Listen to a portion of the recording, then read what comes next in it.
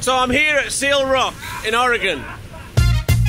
I should have known right then this trip would be a disaster, but two days prior to that, I was giddy and full of optimism. I was on my way to a landscape photography bucket list location.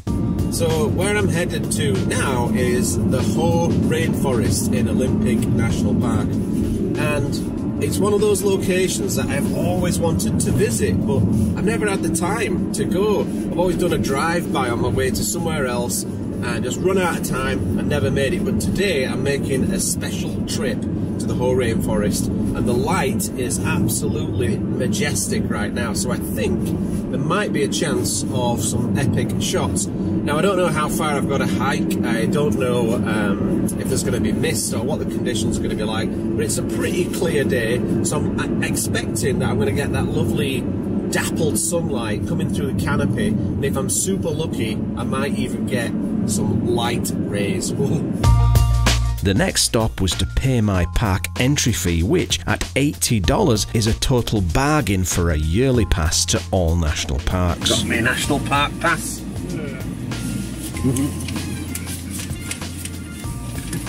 Thank you. Let's go and get some mossy goodness. See ya.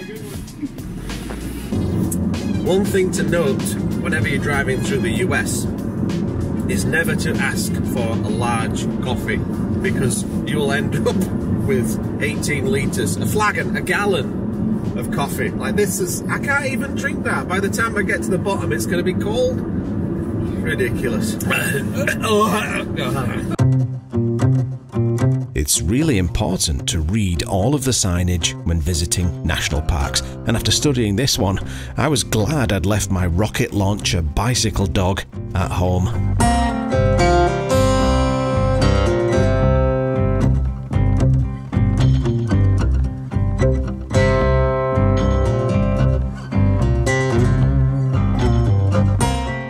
Wasted no time in hitting the trail to the Hall of Mosses, where I'd hoped to find some juicy compositions, but as I sauntered through the forest, I realised the bright sunlight I was so excited about earlier, well, it was turning out to be a bit of a deal breaker.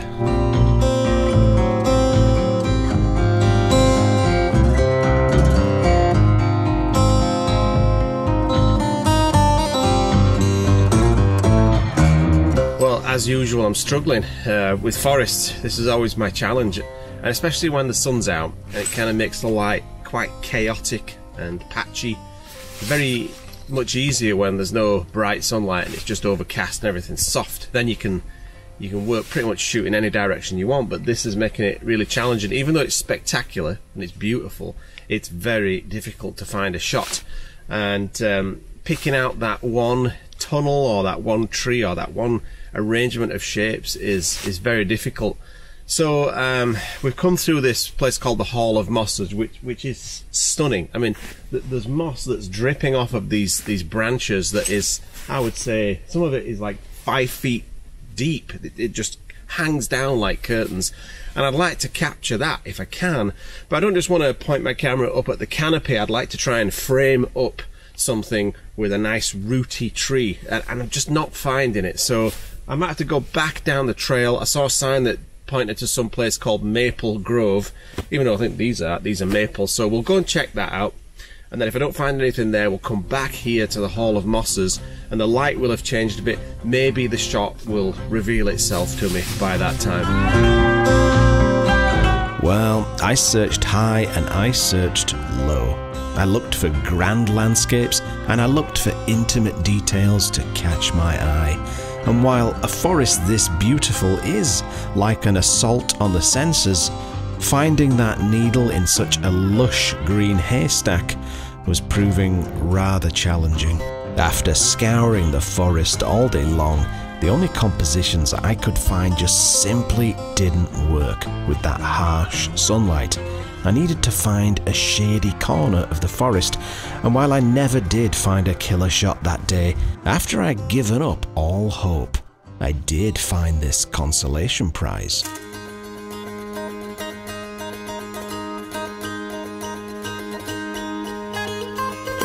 this particular branch really caught my eye with its four foot long sheet of hanging moss. And I went for a slightly shallow depth of field, and this image barely required any post processing. As you can see from the unprocessed raw file on the left, all it really needed was some slight dodging of the highlights and a bit of desaturation. I think anything more than that would have just been overkill. But consolation prizes are not killer shots, so I resolved to try harder. I decided to visit the beach and try for a sunset seascape shot at a very famous location. The question was did I have enough time to find a killer comp before the light faded? And would the light be any good, or was I just setting myself up for yet another failure? So I'm at Ruby Beach in Olympic National Park, one of my all time favourite seascape locations. And living on Vancouver Island, it's a no brainer because it's a two hour ferry ride from Victoria and then a one and a half hour drive, and, and you're here at Ruby Beach and I've, I've missed the actual sunset but I reckon if I stop gabbing, which I'm doing right now, I might have about 20 minutes of really juicy light to get a shot. And so I've been hunting for compositions and I found this lovely little tide pool of sand. And I don't know if the, if the camera's picking it up, but look at these beautiful textures in the sand there. These, these lovely patterns caused by the, the receding tide. And of course, it's like a mirror reflection. And I've got that sea stack reflected in that little pond there. So that'll be a nice shot. There's some nice colour, but the best of the colour, of course, is in that direction where the sun just set. But who knows, we've got 20 minutes before this blush is done and then it's over. So I better get busy and see if I can try and find a shot. If that doesn't work, over here, I've got some other little ideas. And, and this is what I love about the, this type of sandy beach, is you get these, I think they're called sand cuts. And if you look at these shapes, you know, they're so gorgeous. They're so very abstract and they're, they're perfect leading lines really, but they've got this kind of like mirror-like effect where it just reflects whatever you want to reflect. I mean, I could sort of forget the sea stack there, forego that, and then just shoot, you know, these, these very simple looking rocks with the pools and get go for colour rather than actual compositional shapes. But that kind of thing doesn't excite me as much. I want the drama of those sea stacks. So anyway, I better start waffling and get, get to work and try and get an actual shot.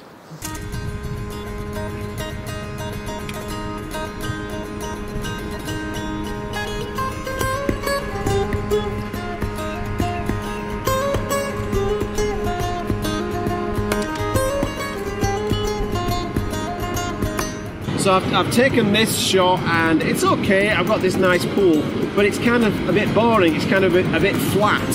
So I'm gonna move over there where there's all of these rivulets and weird textures and, and leading lines. I'm gonna try and use those as a slightly more engaging foreground. So we'll see.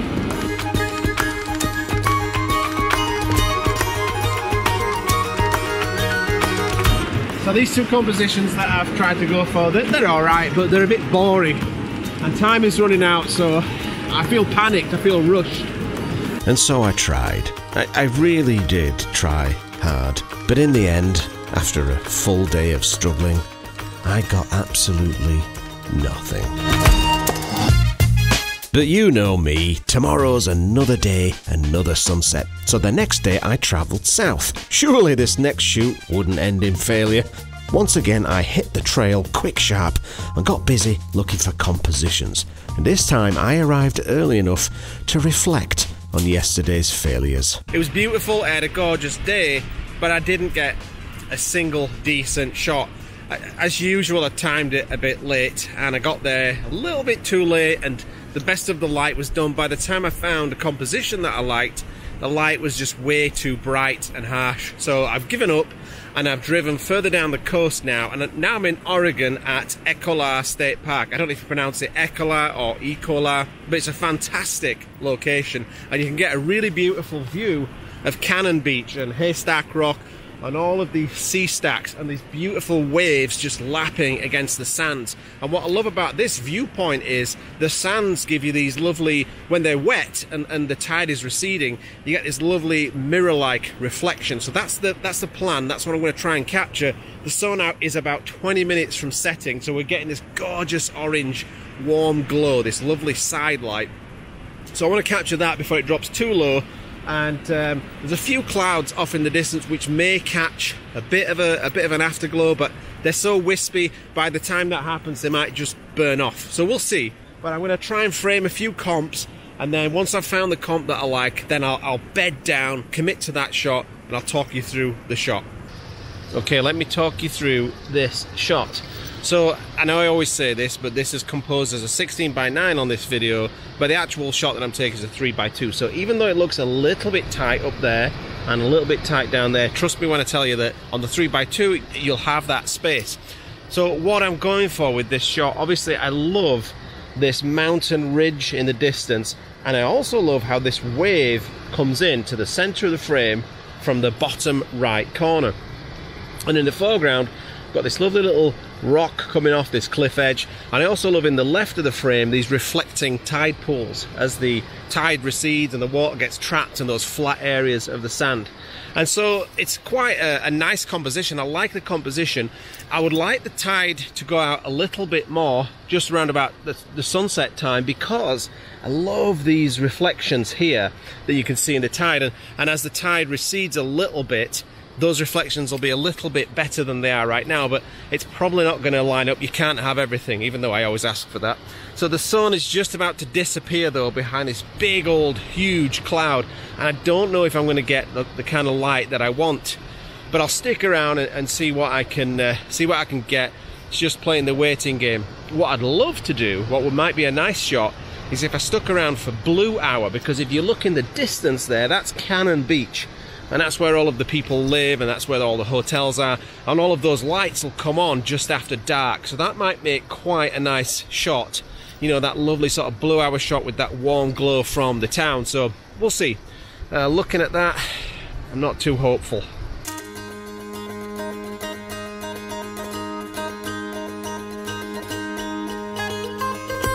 Ugh, yet another failure. And while I do like the composition, it's just nothing without good light. As soon as that low cloud covered the setting sun, I knew it was game over. Well, the sun has gone down behind probably a kilometre of cloud, long before actual sunset, so that means no colour. And, it, and if you look at the scene, you can see it's flat, muted, boring colours, so this is my third failure in two days. But I'm not suicidal yet. Uh, there's a few chocolate bars in my camera bag, a few twirl bars. That should lift my spirits, and then if that fails, I'll go and get a massive feed, a curry or something like that. And that comfort food should pull me back from the edge of topping myself. But my spirit has been completely crushed, and I don't know if I'll bother waiting around for that blue hour shot that I talked about earlier. I'm just not feeling it. You know, when you've just had enough, you're just like, now, no, move on, regroup, tomorrow's another day. Maybe I'll get a shot of something tomorrow. I really hope I get something tomorrow. Because if I don't, I'll get something. I'll get I'll get a shot tomorrow. I'm sure I will. Well, you will if you show up on time. Once again, the best of the light was kicking off before I'd even arrived. Oh! I've popped down to Cannon Beach for sunrise, Haystack Rock in all its glory. I've overcome my uh, self-pity of last night's failed shoot. Three failed shoots in a row. I think I'm justified in being a bit sour about it.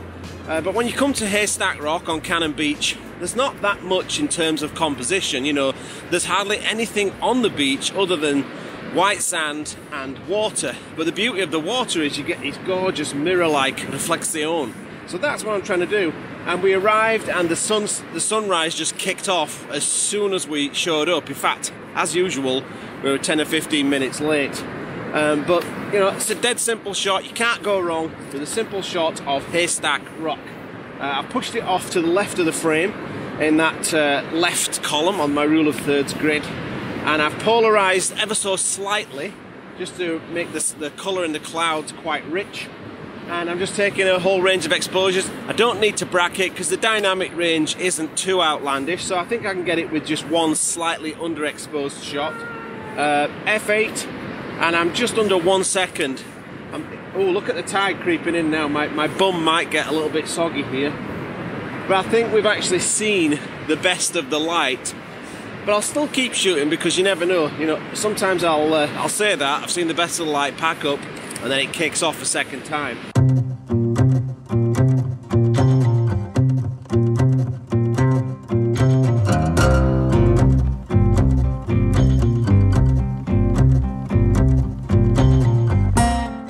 Finally, a half decent shot. Just when I was on the brink of quitting, I managed to enjoy a few minutes of glorious light. And my favourite kind of light on the Oregon coast is stormlight, which you will be seeing in an upcoming vlog that I filmed with F4. So if you want to get notified when that goes live, be sure to hit that subscribe button. Hey, that looks like that seagull that pinched my sandwich yesterday. No, Oi! no, it's not me. Hey, you! It wasn't me. Get back it's here! It's not me. Get back it here! Was... You owe me a sandwich, you little... it was a good BLT too. It's 7.20 a.m. I've had 13 and a half minutes of sleep and I do have a face like a bag of boiled tripe that's been punched and then dropped on the floor. I'm actually preferring this shot to the big old haystack rock shot that I got earlier and the reason is everyone's got that shot. You don't really see that many pictures of this particular scene, and I'm loving this this wave action that's coming and hitting this this big rock here. And what happens is, as the water comes in, it wraps around the rock, and you get all these shapes. And then as the water recedes, you get completely different shapes. And you can see like that that wave there is now coming to meet the one that wrapped around the rock earlier, and they come and you get all these different shapes. You get ripples. So I'm trying to capture different exposures with that and hope for a little bit more dynamic light. But even if I just get this light, it's still quite a decent shot. Not a killer shot, but it's definitely something to put in the bag for coming back another another time and just lodge that composition in memory and get it when the killer light happens. I wish I'd come straight to this spot when we first showed up. So, not a bad day after all. I got one decent shot and one composition to revisit during better light, but it was time to head down to Newport to join the photography conference where I would meet my photography hero, Sean Bagshaw. But as you'll see in the next episode, there's a reason they say you should never meet your heroes. Yeah, so Gavin, how about this? I t- tell you what I'll do. Yeah. Come back to my camper and I'll give you a private lesson, one on one, just me and you. Just me and you? Yeah. Kind of intimate like. So, yeah, very intimate. In, in, your camper? In my camper. A lot wow. of people would pay a lot of money for one on one in Sean Bagshaw's camper. And, and, they have.